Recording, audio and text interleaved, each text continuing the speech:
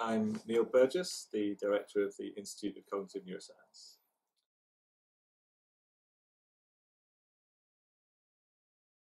Well, I think um, as as we sort of foresaw in the 90s, it's uh, becoming clearer and clearer that we can try and understand uh, cognition at the level of mechanisms in the brain and eventually in terms of what individual neurons are doing and how a neuron firing in a certain way in a certain part of the brain will cause you to think a certain thing or act in a certain way.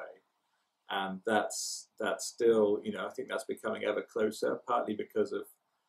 developments in optogenetics and molecular biology, which are really allowing uh, people to see how neurons interact with each other functionally, and also developments um,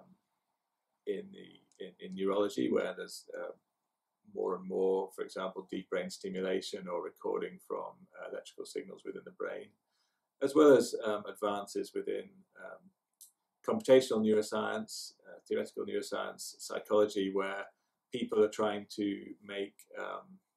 you know, explicit formal understanding of how cognition happens in terms of mechanisms that you can relate to the individual neuron or uh, synaptic changes and kinds of things that you can measure biologically in the brain.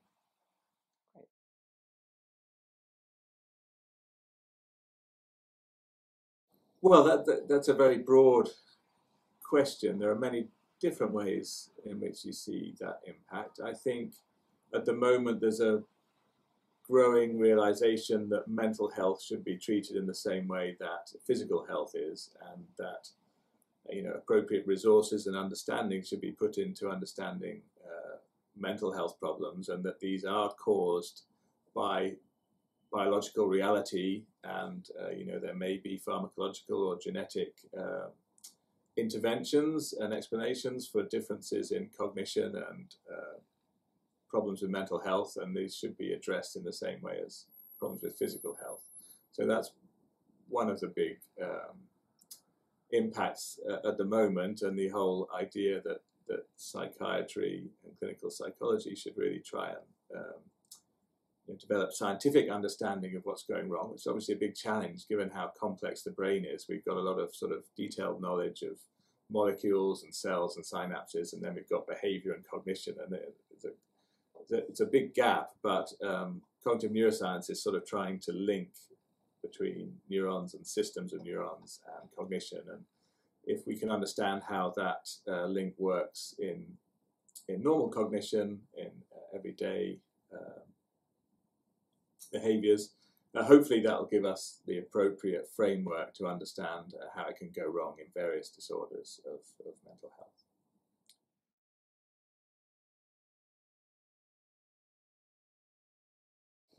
Uh, well, I would say that um, today, as with the last decade or so, actually, trying to understand the brain and cognition is um, is a very exciting area to go in because sort of advances in low-level um, technology, genetics, molecular biology, um, and imaging neuroscience um, is really pushing forward how we can try and understand how the brain works to make it really a tractable thing that you can investigate. So as a young scientist, you can go and try and understand some aspect of cognition or brain function and be able to do experiments that have not been done before, which should hopefully give you new insights.